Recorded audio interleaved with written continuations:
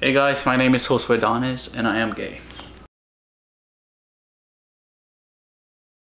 The reason why I'm making this video is because I want to reach out to people that are actually struggling with coming out. Uh, people that are having a hard time in their lives. You know, I've been in your shoes. I've been there before. Especially coming uh, from a traditional family. My mom is a Jehovah Witness. My dad's a Catholic. And they didn't really accept any of it. And um, as a since I was younger, they, they would tell me that it was wrong and it was it was a sin, you know. I remember we used to watch uh, TV shows like Laura and stuff like that. And um, I remember my my dad. Uh, there was like uh, I, I have the, this like picture in my mind, and it like it's always there. I remember there was like a case where there was a, a gay guy. They always put like homosexuality with right next to AIDS for some reason and it's like it's not that way you know? And um, so I remember that very clearly in my head and I remember my dad saying if any of you guys because it's three I got three brothers um, if any of you three come out being gay I'm gonna beat the of you guys and he'll tell us stuff like that you know? And so growing up I was kind of scared of my dad um, thinking about you know everything that he would tell us that it was wrong that it was bad. And then especially going to church uh, uh, we went to a jehovah witness church um, and they would say, read stuff saying that it was a sin that a man that would sleep with another man it's he will go to hell and stuff like that. So it was very scary for me. And i remember there was nights when i would think that uh, i would grow out of it uh, this thing that everything would change. And everything would be okay but at the end of the day i realized as i was getting older um, i had many girlfriends. Not many like probably like four or five. Um, i spent a lot of time with them. Of course uh, i dated this one girl for four years of my high school. Not three years. Three years of high school. And i loved her and uh, but at the end of the day I just wasn't a hundred percent happy. Um, it's it's weird. Like the other day, my mom asked me, "Isn't being gay a choice?" and I said, "What do you mean?" She's like, "Like don't you choose who you like?" And I'm like, "Do you choose who you like?" And she's like, "Well." I'm like, how do you how do you know you like your boyfriend? You know, I told her that, and she's like,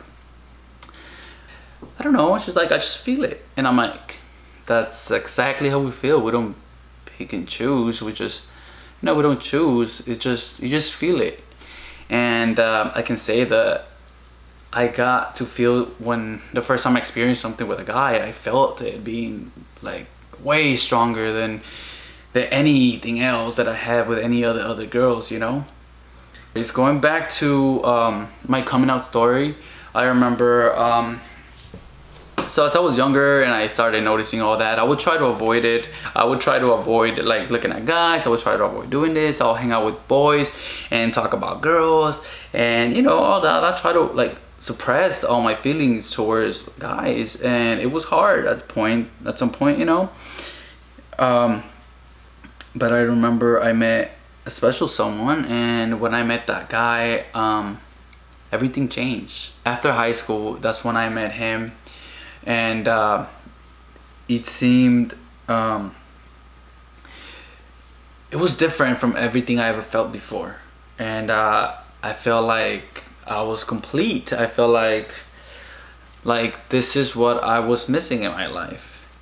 And um, but it was hard for me to actually take that one step. And it took me a little while. Um, throughout high school I only dated girls. Um, almost at the end that's when I experienced uh, with uh, one guy.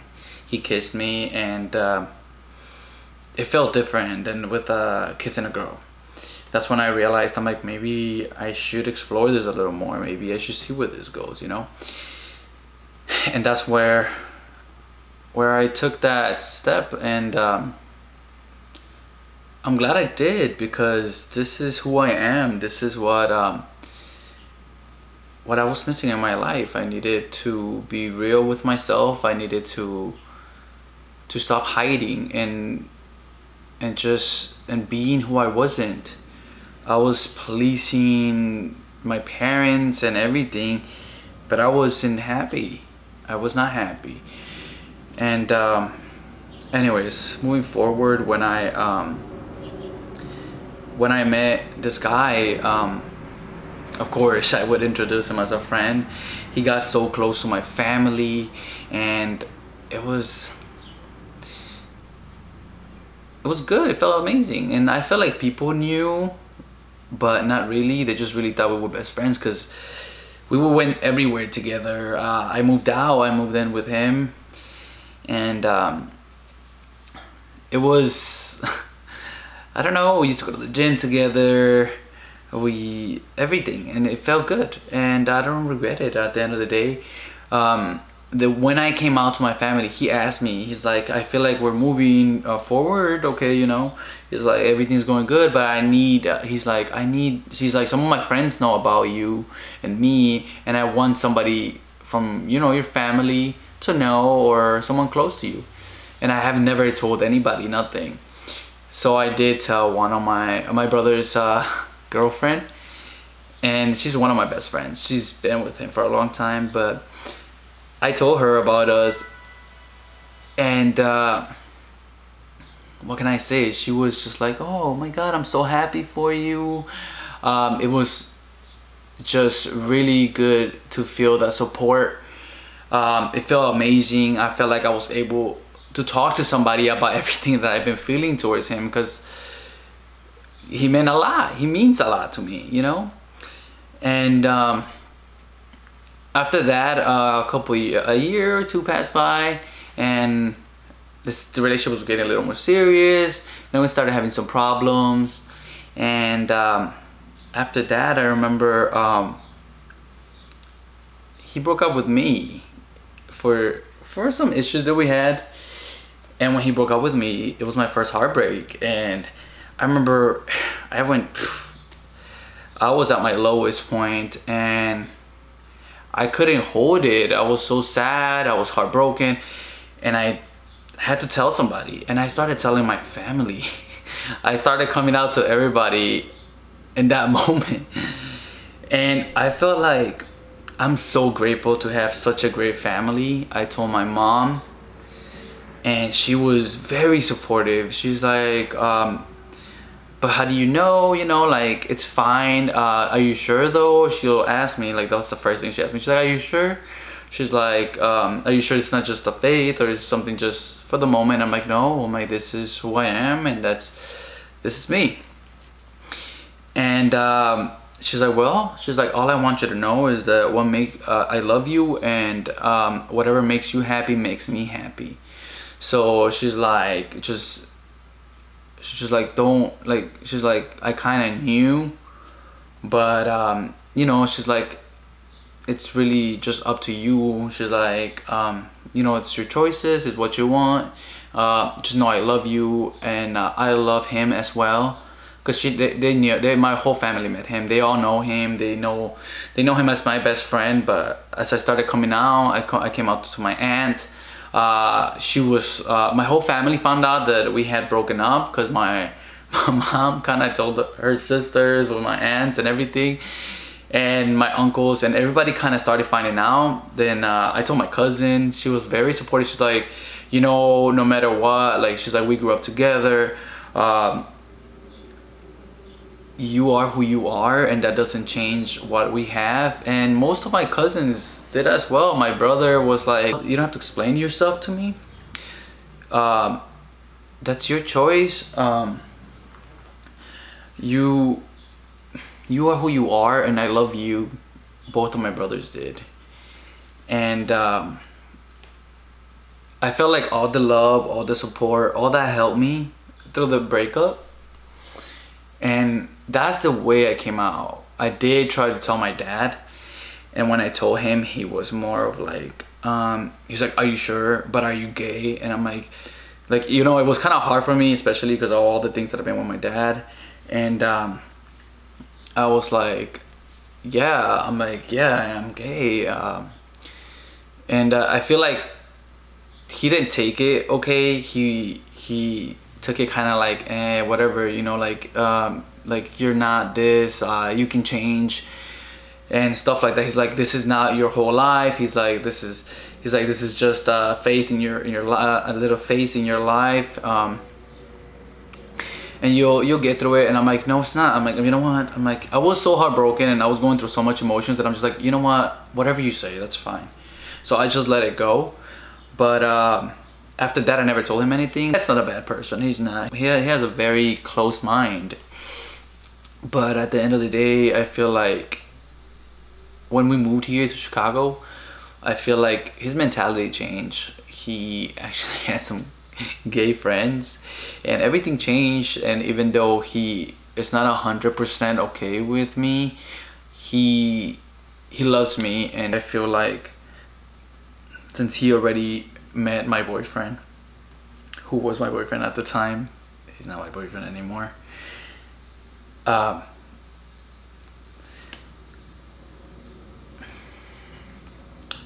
he's something else. Um, so he met him as my best friend so he's very cool with him so he loves him. and he doesn't treat us in any way different than anybody else you know? He's a little asshole sometimes to me but you know that's he he's very proud of who I am and he he loves us after like a couple of months we got back and now everybody knew and I was out just to my close friends and family. I've never really put myself out there and that's what I'm doing now and I wanted to do it this way uh, just so people can see it you know see my what I've been through and at the end of the day everything works out everything. You'll be happy just by by doing this like honestly like I felt like this big weight that was on my shoulders just it was off and I could I felt free. I felt like, man, I can breathe. I, I feel I feel good, you know. After everything happened, um, I feel like there was a lot of support. I didn't lose any friends. Um, I did have a couple of my aunts. Uh, these are more the like the religious ones. They were kind of like they would see me and then they'll like uh, they'll treat me really sweet and nice and like I could feel like a little bit of like you know like side eyes and stuff like that i love parties and stuff. But slowly that's been going away and uh, i mean i'm just i'm sure that this is new to them. They never really seen anything like that. I'm i am the first guy to come out in our family. Uh, we don't have any any other gay relatives or family members so this is new to them and it just takes time for them to you know warm up to it get a little bit used to it but it did help that um, my boyfriend was actually close to them. It helped that I brought him as a friend and they all loved him. But at the end of the day, I feel like I've for me to do all this, it took time and it took a lot of things, but the reason why was because when I was younger, um, I used to get a lot of like you're too feminine. Oh you're gay and stuff like that from other kids. I used to get a little bit bullied you know.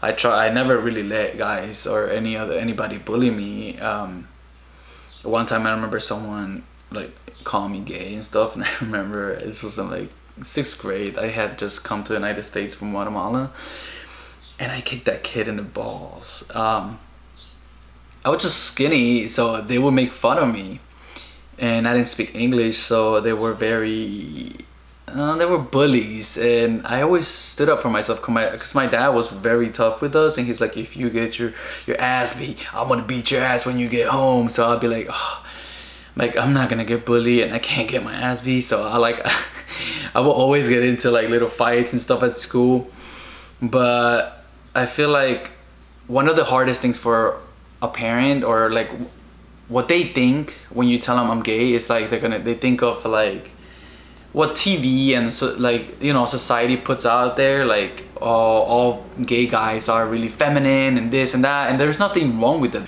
When it comes to me, I'm not like that. Um, I'm I'm very I'm a little feminine. I can I, you know I accept that. Uh, but I am uh, I love cars. I love motorcycles. Uh, as you can see, my helmet right there. uh, I'll put up videos if you guys want to see more of my life. Let me know. I'll put up more videos. I'll make videos. Um, so I feel like they just think we all gay guys are going to be fem feminine, you know, and we're not all feminine. Um, everybody's different. I just feel like they would think they were thinking that I was gonna change into like this feminine guy, and I'm not. Nothing wrong with that. Like I said, everybody is who who they are. You know, everybody's different, and uh, I feel like it was just a little more easy on them to accept me due to the fact that um, um I, I didn't change at all. All the change was, hey, this is Josue, and now he's gay, you know. But nothing changed. It's just just the same, and and that's it. It just took a little time for them to see that i'm not changing who i am. I am the same person. This video i made it because i want people to hear my story. And uh, it's hard. Take your time with it. Don't rush it. It'll come to you. It took for me to meet someone very special for me to feel comfortable with uh, with that person and be, and understand what the feeling is. Once you know what the feeling is uh, and you know 100% that you are you'll find the courage in you to just hey this is who I am and this is how I'm happy. This this makes me happy and this is nothing nothing you can say or anybody can say will change that. At the end of the day I feel like I don't regret my choice I feel like it made me who I am. It makes me happy. It makes me, I feel free, you know? I feel like I don't have to hide anything from anybody. And the reason why I haven't put anything on my social media is because this is the way I wanted to do it. This is the way I wanted to come out to my friends and everybody else in the world. Thanks to all the YouTubers and all the people, you know, that are, that put their life and their experience out there. It's why I'm here today. Um, I feel like a couple of them here, let me mention a couple of them that actually inspired me. Gus is one of them. I don't know if you're, there you go, it's focusing. He is one of the people I admire the most. Um, Bretman Rock, yes, bitch. he's hilarious. Like i can't stop watching his videos. He's just so funny. Um oh there's this couple who i follow on instagram who are amazing. Um carson and nate. Yes these guys have inspired me a lot. They um they are one of my, like my role models. It's just they just they're out there they don't care and they they're not afraid to show who they are. Which is why I I decided to do this. They are the people who actually gave me a little push to do this video and um, and uh, put myself out there and share my experience so other people can see it and know that it's not that bad. And there's always someone that would have it worst. But um but it's okay. Once you do it you feel you know you feel free. You feel better. You are who you are. And i don't feel you need to hide that. I don't feel you need to do that. Um it's worse to be living a lie to not be who you are. Thank you for watching. Um, I really hope this uh, helps people out there. Um, I know it's hard. I know it's really hard. Uh, but coming out was was amazing. Um, it actually all the support that I got made me feel loved, made me realize who I got around me. And I know people, some other people might have different experiences, but at the end of the day, I know that um, we all, we all have to go through it, just so you, so you can live your life as who you are. And we don't waste our time being someone we're not